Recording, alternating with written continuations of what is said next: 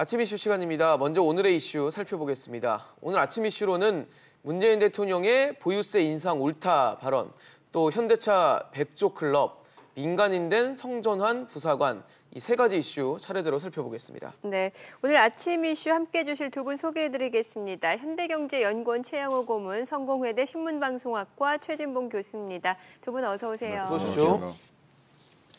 네, 우선 먼저 이 공시가격 부터 좀 다뤄보도록 하겠습니다. 보유세 기준이 되는 게 바로 이 공시가격인데요. 정부가 올해 단독주택 공시가격의 기준이 되는 이 표준주택 공시가를 공개를 했습니다. 좀 어떻게 보셨는지 궁금해요. 뭐 일단 이건 반독주택 공시가 같은 경우 는 꾸준히 지금 올리고 있는 상황이에요. 그렇죠. 왜냐하면 시장 가격하고 너무 공시가격이 음. 나- 낮아져서 아파트나 이런 공동주택을 살고 있는 분들은 공시지가가 어느 정도 현실화되고 있는데 단독주택 같은 경우 그게 안 돼가지고 세율 과정에 있어서 불공평하다는 비판이 많이 있었거든요. 음. 그래서 올해 단독주택 공시지가 같은 경우에 지난해는 많이 올렸어요. 17.75%를 올렸는데 올해는 그보다 반 정도 6.8%만 올렸거든요. 그러니까 전국 기준으로 보면 4.47%가 올랐고 서울 지역만 보면 6.82%가 올랐기 때문에 작년에 한꺼번에 많이 올린 거 이번에는 좀 반 정도만 올렸어요. 네. 근데 그것도 차분차분 더 올려서 실제 지금 정부가 아, 추진하고 있는 것은 한 50%보다 약간 높게 50% 어, 전반기 중반기 정도 그 정도로 올리는 거 목표로 하고 있거든요 지금 근데 거기까지 아직 못 간 상태이기 때문에 지속적으로 아마 그 공시지가와 현 어, 현실에서 판매되는 그 가격을 좀 맞추는 쪽으로 가려고 하는 그런 노력을 보이고 있어서 올해는 아마 숨고르기를 좀 한 것 같아요 지난해 너무 많이 올려서 그렇게 볼 수 있을 것 같습니다. 네, 뭐 일단 이렇게 올라가면서 고가 단독 단독주택 보유자는 이제 뭐 공시가격도 오르고 또 종합부동산세 그 과표가 되는 공정시장가의 비율도 90%로 높아지면 이제 세금 부담이 급증할 수밖에 없겠네요. 그렇습니다. 이게 공시가격은 조세, 그다음 네. 부담금 이 부과 기준이 되거든요. 그러니까 재산세, 종부세, 뭐 보험료, 그다음에 연금 여기에 대해서 어, 같이 오르기 때문에 어, 현재로 뭐 어, 그냥 러프하게 계산을 하시, 하시면 이게 한 20% 내지 30%가 공시가격이 오르면 이 보유세라든가 같은 건 50% 정도 오른다고 생각을 하시면 되겠습니다. 그래서 어, 지금 뭐 부담이 되실 수 있는 부분들이 굉장히 많고요. 예. 어, 사실 이제 에, 부동산의 이런 또 불로소득을 잡는 데 있어서의 이런 보유세 강화는 굉장히 효과적입니다만은 또 항상 그늘이 있기 마련입니다. 그래서 그렇죠. 어, 단독 주택 하나 갖고 계신 분들이라든가 이런 부분들은 어떤 식으로 여기에 대해서 대처가 나올지 지금 어, 걱정이 되고요. 어, 현재 뭐 예를 들어 보면은 이제 어, 이번에 이제 표준 주택이 22만 개인데 그 중에 제일 많은 데가 이명희 회장 신세계 네. 이명희 회장이 277억을 갖고 있는데요. 그렇죠. 보유세 같은 경우에는 어, 3억 6천 내시다가 5억 3천으로 1억 아. 7천이 뛰어오릅니다. 그래서 예. 뭐 많군요. 세 부담이 굉장히 뭐 많이. 예, 오를 수밖에 없고요. 근데 진짜 진짜 폭탄은요 증여세하고 상속세입니다. 네. 아. 20% 오르면 보유세가 50% 오르지만 어, 이제 증여 상속세는 10억 단위로 이게 올라가기 그렇죠. 때문에 네네. 어, 만약 20% 정도의 이 뭐 시가가 올라간다면 에, 뭐 증여세는 80% 정도가 어, 뛴다고 보시니까 진짜 폭탄은 상여 증여세로 어, 알고 계시면은 어, 도움이 되실 것 같습니다. 네. 사실 뭐 증여세, 상여세 부담이 더 커질 것이다라고 말씀을 하셨지만 보유세 부담도 사실 만만치 않은 게 사실이고 또 문재인 대통령이 이미 신년 기자회견을 통해서 이 보유세 강화 또 거래세 완화는 옳은 방향이다라고 하면서 시사를 했기 때문에 그렇죠. 뭐 앞으로 뭐 보유세 계속 늘어날 거다라고 예상을 할 수 있는 것 같아요. 어, 그런 예상이 가능하죠. 그러니까 보유세를 올리는 이유는 그러니까 집을 가지고 돈을 벌겠다고 생각하는 투자 어, 목적으로 집을 사는 것을 막겠다는 거 아니겠습니까? 그렇겠죠. 예. 부동산 가격을 어느 정도 안정시키기 위해서는 보유세를 어, 올릴 수밖에 없다. 그럼 결국은 보유세를 높여서 어, 갭 투자를 하거나 아니면 남의 돈을 빌려가는 은행 돈을 빌려가지고 집을 사가지고 그걸로 재산을 증식하려는 목적을 가지고 투자 목적으로 집을 사는 사람들의 그런 행위들을 막겠다는 거더라고 보여져요. 네. 그래서 불가피하게 뭐 이- 일가구 이주택을 가지고 있는 경우도 있을 수 있지만 그렇죠. 불필요하게 이- 이주택, 삼주택을 갖고 있으면서 그걸로 경제적 이익을 획득하는 분들 이런 분들을 막기 위해서는 보유세 증가가 불가피한 면이 있다고 보여지고요. 그래서 뭐 전체적으로 보면 보유세 증가는 부동산 정책의 안정을 위해서 반드시 필요한 부분이라는 생각이 들고 그게 이제 혹시나 사각지대가 있을 수는 있어요. 네. 예컨대 뭐 한 주택만 갖고 계시는데 너무 이제 가만히 있었는데 집값이 올라가는 바람에 이제 세금이 많이 늘어나는 경우 연금으로 생활하시는데 한 주택만 갖고 있는 부분 이런 부분들은 다른 방법으로 구제해야 되겠지만 그런 게 아니라 뭐 200채, 300채씩 갖고서 집 가지고 집 장사를 하거나 아니면 돈을 버는 이런 분들 그러다 보니까 청년 층이나 아니면 저소득층은 집을 구할 수 있는 방법이 없는 거 아니겠습니까? 집값이 뛰고 있고 이런 부분을 잡는다는 측면에서는 보유세를 어, 이 증가하는 것은 일정 부분 필요한 부분이 있고 공시지가는 사실 현재 시세하고 너무 많이 차이가 있어요. 특히 단독주택은 지금까지 그런 부분이 있어서 논란이 많이 됐었기 때문에 네. 이런 정책으로 가는 건 맞다. 다만 사각지대로 남을 수 있는 부분이 있다고 하면 그 부분을 구제할 수 있는 방안을 찾아야 된다. 이렇게 보여집니다. 네. 그렇겠네요. 근데 예. 옳은 방향이 어떤 방향이 옳은 거냐에 대해서 논쟁이 있을 수 있습니다. 아. 어, 투기를 잡느냐, 진짜 투기와의 전쟁이냐, 예. 아니면 거주의 안정적인 환경을 제공하는 거에 따라서 이게 옳은 방향이 보는 다를 수 시각에 있거든요. 따라서는 좀 다를 수 있다 아니, 근데 말씀이시죠? 그냥 일반적으로 상식적으로 공시지가 인상됐어요. 그럼 집주인은 어떻게 하겠어요? 부동산 가격 그냥 올려버리는 거죠. 음. 이건 전이 될 수밖에 없기 때문에 최근에도 이런 현상들이 많이 나왔습니다. 네. 강남의 이런 상가 시세들이 굉장히 오르는데 어, 상가들이 잘 뭐 요새 유동성이 좀 줄어드는 반 그런 추세에 있었음에도 불구하고 이게 가격이 올라갑니다. 공시지가 인상된 거를 부동산 가격에 다 지금 전이를 하고 있어요. 그래서 음. 반영을 해버리는 거죠. 예, 과연 옳은 방향에 대해서 조금 더 구체적인 그런 정의를 좀 내리고 그 방향에서 좀 이 전체 이 한쪽이 누르면은 아, 다른 쪽이 이 뭐 영향을 받는 풍선 효과가 그쵸. 굉장하거든요. 이런 부분들은 종합적으로 다시 한번 어, 들춰보셔야 된다고 생각을 합니다. 네.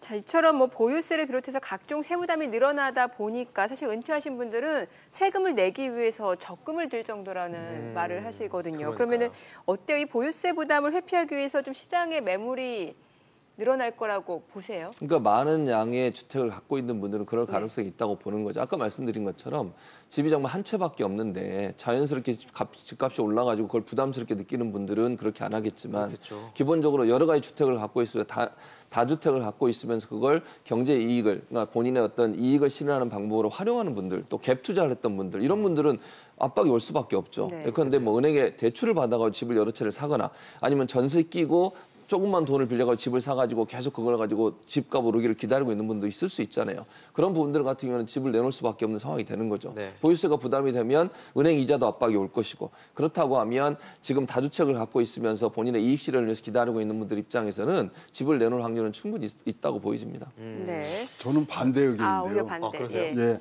아니 아파트 가격이 지금 어 2년 전만 해도 5억 8천 하던 게 평균 가격이 지금 8억 2천으로 갔어요. 40.8%가 급증했습니다. 이거 보유세 무서워서 이거 팔라고 내놓지 절대로 않습니다. 지금 우리가 계산만 해도요. 대학교 4년간 등록금 모아서 조그만 집을 사더라도 이거보다 훨씬 더 나은 수익률을 내고 있거든요. 따라서 지금 현재 이 뭐 공급의 문- 부분 매물의 이 문제가 아니라 지금 집값 상승이라든가 이런 어 뭐 거래에서의 위험성들은 화폐성 현상이라고 보시면 됩니다. 너무나 많은 유동 자금이 지금 어, 천조에서 천사백조까지 아, 돌고 있죠. 그 부분을 어떻게 선순환의 물꼬를 터주냐가 문제지 이렇게 해서 매물 나올 물, 물건이면은 벌써 나왔죠. 어, 따라서 지금 매물로 나오기보다는 더욱더 이걸로 인한 가격 상승을 판매가에 얹히는 부분으로 해서 매물이 뭐 우리가 생각한 것보다 훨씬 더 어, 적게 나올 수 있는 부분도 분명히 있다고 생각을 합니다. 저는 네. 그렇게 생각하지 않아요. 지금 예. 말씀하신 화폐 문제를 얘기하셨는데 그러면 이렇게 만약에 집값을 보유세를 올리지 않으면 이 사람들은 더 오래 갖고 있을 거예요. 음. 예를 들어서 보유세도 많이 내지도 않고 지금 말씀하신 것 집값 오를 확률이 없고 그럼 누가 집을 내놓겠습니까? 네. 아무도 집을 안 내놓죠. 지금 말씀하시는 것처럼 계속 갖고 있으면 돈이 된다는 확신이 있다고 하면 절대로 집값 집을 안 내놔요. 누가 팔겠습니까? 물론 이게 한계가 있을 수 있지만 이런 방법을 통해서라도 집을 팔게 만들어야 돼요. 그러지 않으면 어느 누구도 집을 안 내놓습니다. 집값이 오를 수 있다는 기대감이 있는데 어느 누가 그걸 집을 팔고 또는 다른 방법을 통해 돈을 다시 구워서라도 구해서라도 집을 또 살려고 하겠죠. 이런 일은 계속 반복될 수밖에 없다는 어, 거예요. 뭐두 분이 토론을 하실 아니, 정도니까. 그러니까 지금 답을 얘기하신 거예요. 예. 수요 억제책으로는 안 됩니다. 그렇다면 공급을 공급, 예. 공급 에 대한 대책이 나오면서 해야지.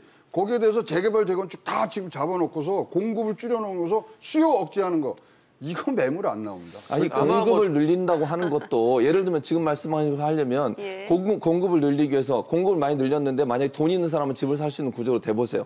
그러면 그 돈은 또 돈 많은 사람한테 집이 갈 수밖에 없어요. 구조적으로 보면 그걸 구조적으로 다주, 다주택자들을 일정 부분 제재하지 않으면 계속 집은 가, 가진 자의 어떤 재산 증시의 방법으로 활용될 수밖에 없다는 거죠. 아마 뭐 최지봉 교수님 말씀하신 부분은 분명히 정부가 좀 의도하고 정부가 좀 겨냥하는 방향인 것 같고 지금 이제 고문님께서 말씀해주신 부분은 아마 시장에서 정부의 대책에 대한 좀 비판을 하는 시각으로 저희가 좀 이해를 할 수 있을 것 같아요. 보유세는 답이 아니다 이거죠. 아, 네, 그러니까 예, 알겠습니다. 공급을 늘리는 대책이 좀 필요하다라는 지적을 해주셨습니다. 뜨거운 감자네요. 네, 아무래도 뭐좀 토론 시간이 아닌데 토론이 붙을 정도로 굉장히 뜨거운 이슈가 아닌가 반발을 싶습니다. 하시니까 제가 말씀을 드리는 네, 거예요. 아, 네, 네. 네, 맞습니다.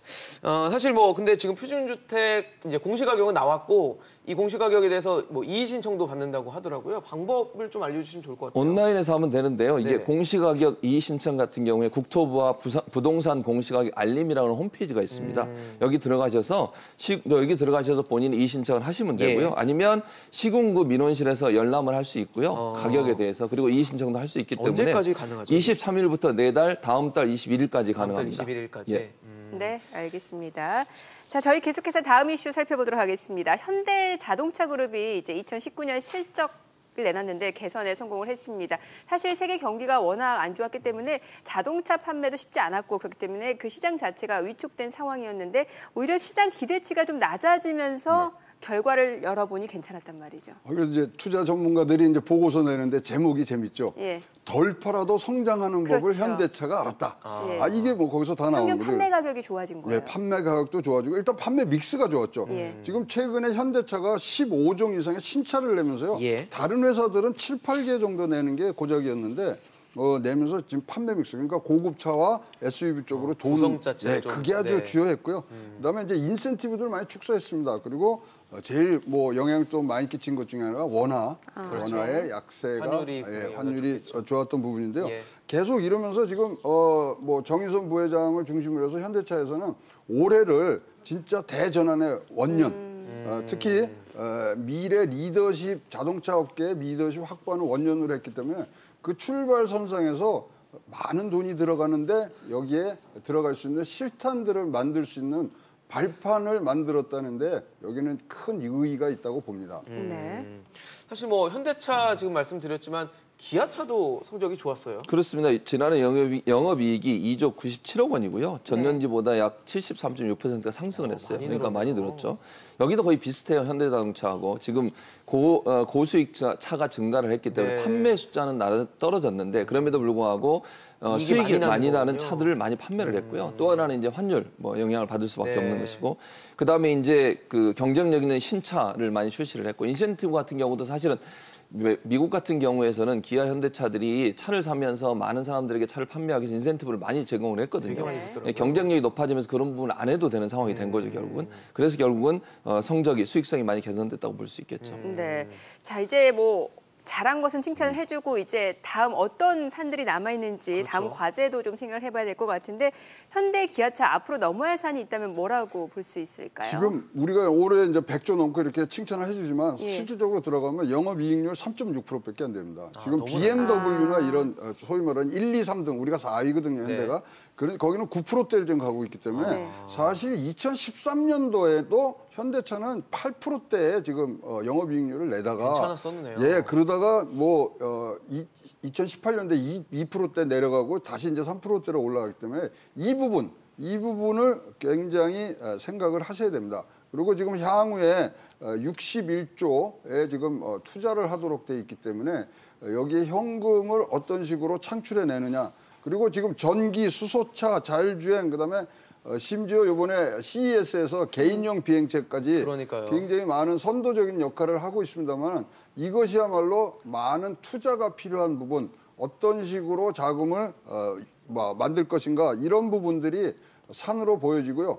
방향성은 굉장히 지금 잘 잡고 있다 이런 평가로 보시면 되겠습니다. 네. 네. 알겠습니다. 다음 이슈로 좀 넘어가 보도록 하겠습니다. 저희 이슈엔에서도 이미 좀 다뤄본 이슈이긴 한데요. 이 성전환 수술을 한 뒤에도 계속 군복무를 하고 싶다라고 말했던 육군 하사를 군 당국이 강제로 전역을 네. 시켰습니다. 뭐 개인적 사유에 대한 판단이 아니라 이 관계 법령에 근거한 적법한 결정이었다는 게 군 당국의 설명인데요. 어, 이번 결정 뭐 논, 논란의 여지가 많은 부분인 것 같습니다. 그렇습니다. 네. 그런데 이제 현행법상으로 보면 네. 국방부에서는 뭐 현행법으로밖에 할 수가 없잖아요. 이걸 소급해서 적용할 수도 없고 그래서 막 범, 어, 법령이 미비한 거죠 아직은 왜냐하면 이제 성전환한 병사들이 있을 가능성을 전혀 예측하지 못하고 그런 법령이 없는 상태에서 현행법으로 하면 전역을 시킬 수밖에 없다는 게 전역 심사위원회 지금 판단입니다. 제가 볼 때는 좀 고육지책이라는 생각이 드는데 사회적 분위기를 국방부가 아직까지 받아들이, 받아들이기에는 법령상 제재가 어, 제정이 안돼 있기 못 때문에 따라가는 느낌이 좀 그렇죠. 드네요. 그러다 보니 불가피하게 그런 선택을 하지 않았나 그렇게 보여집니다. 네. 아마 우리 군에서는 전례가 없었던 일이었기 때문에 상당히 고심을 해줄 수밖에 그렇겠죠. 없고, 근데 해외에서는 이런 사례들이 있었잖아요. 아니 그러니까 뭐 군 이 국방 의무에 남자와 여자가 어디 있겠습니까만은 네. 이제 미국 같은 경우는 지금 트랜스젠더가 근- 근무하는 수가 15,000명 정도 되고요. 어, 제법 많네요. 예, 근데 에, 이런 예는 별로 없습니다. 그러니까 입대를 중간에. 해서 트랜스젠더로 바뀌는 경우. 그래서 요번에는 사실상으로 잘 아, 보시면은 뭐가 문제냐면 자기네 소속 부대에서는 이거를 굉장히 어, 적합하다고 계속 얘기를 했어요.